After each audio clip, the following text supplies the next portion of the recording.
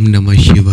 Live सरल सामग्री में आपका स्वागत है। जैसा कि सभी जानते ही हैं कि शुक्रवार का दिन की हुई विधि बहुत ही ज़्यादा प्रभावशाली होती है और शुक्रवार को बहुत सी ऐसी विधियाँ होती हैं जिसे यदि आप अपने हाथों से स्वयं करते हैं तो वो कार्य ज़रूर संपूर्ण होता है। तो ऐसे ही आज की विधि बहुत ही कार्यगर है। यदि आप किसी से सच्चा प्रेम करते हैं तो आप शुक्रवार के दिन इस विधि को ज़रूर करें, क्योंकि प्रेम जब तक एक दूसरे के बीच नहीं होता, जब तक एक दूसरे की भावनाओं को आप नहीं समझ पाते, यदि आप एक दूसरों की भावना को यदि आप समझते हैं तो आपके बीच में इतना मज़बूत प्रेम हो जाता है कि उसको कोई भी अलग नहीं कर सकता। ऐसे ही यदि आप मज़बूत प्यार पाना चाहते हैं, जिससे आप सच्ची मोहब्बत करते हैं, यदि आप भी अपने प्रेमी के भावनाओं को अपने जैसा या वो आपके बारे में अच्छा सोचते हैं तो आपकी भावना भी उसके प्रति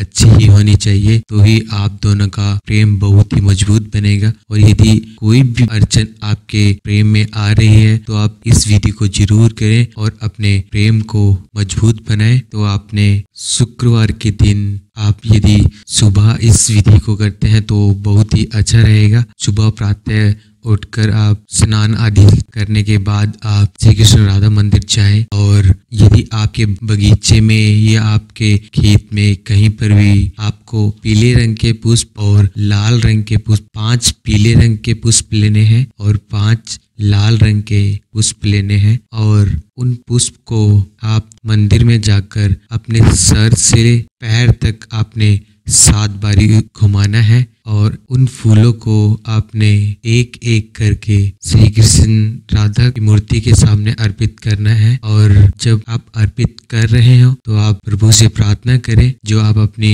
मनोकामना पूर्ण करना चाहते हैं और उसके बाद आपने इस मंत्र का जाप करना है, सात बार। और मंत्र है ये, और जब आप मंत्र संपूर्ण कर लेते हैं। उसके बाद उस पुरुष या स्त्री का नाम लेना है, जिसको आप अपने वश में करना चाहते हैं। और इस विधि के करने के बाद कुछ ही दिनों में इसका परिणाम आपको ज़रूर मिलेगा। आपने यदि सच्ची श्रद्धा के साथ श्री कृष्ण राधा जी से सच्ची श्रद्धा से प्रार्थना की होगी तो आपकी वो विनती, वो मनोकामना ज़रूर संपूर्ण होगी। और यदि आप किसी भी समस्या के बारे में जानकारी लेना चाहते हैं तो आप नीचे दिए नंबर को व्हाट्सएप पे ऐड करें और अपनी समस्या को व्हाट्सएप मैसेज में छोड़ दें। ये विधि केवल वही करे जिसके सच्चे प्यार में अड़चने आ रही है या आपका प्रेमी या प्रेमिका मान नहीं रहे हैं। ऐसा नहीं है कि आप उसे किसी गलत कार्य के लिए मनाना चाहते हैं। यदि आप गलत कार्य के लिए इस विधि को करते हैं तो वो कार्य संपूर्ण नहीं होगा। केवल और केवल ये अच्छे कार्य के लिए ही कार्य करते हैं। आशा करता हूँ आपको हमारी वीडियो अच्छी लगी हो। अच्छी लगी हो तो लाइक करें, शेयर करें, कमेंट करें, सब्सक्राइब करें और सभी साधक साध्वी बेल आइकन को दबाना ना भूलें। ओम नमः शिवाय।